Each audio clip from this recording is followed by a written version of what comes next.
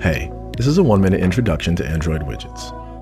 When you buy a new Android phone, the first thing you'll see after you set it up is your home screen. And all over your home screen are these guys. These are widgets. There's different kinds of widgets. These ones are basically ads for the Google Play Store, but you can also have widgets for your calendar, a clock, email, YouTube videos, and widgets like ours. You don't have to keep these ones.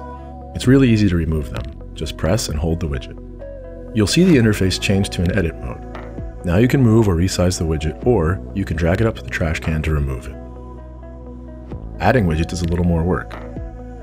Widgets have their own menu and section on your device right next to your apps. So to find widgets, open the apps list. If you look up top, you'll see two tabs, apps and widgets. Tap widgets. And here's all the widgets on your phone. If you're using an HTC phone or an older Android phone, you probably won't see the widgets tab up top. For those, you have to either long press on the home screen to get here or use the old menu button. So anyway, there are a bunch of widgets here, a lot of Google ones, some by other guys. Each one of these is a widget. Our widgets should be at the start of the list. We actually have made tons of widgets, so many that they take up pages and pages. So instead, we group them together by size. To add a widget, pick the size you want. Then drag it onto the home screen and place it where you want it.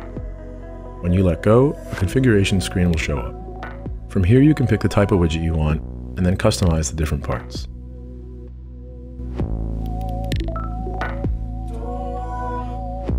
When you're all done, tap the check mark in the top right corner to save your widget. And that's it. Pick the widget you want, drag it to the screen, customize it, and hit save. Thanks for checking out our video, and we hope you have a lot of fun with HD widgets.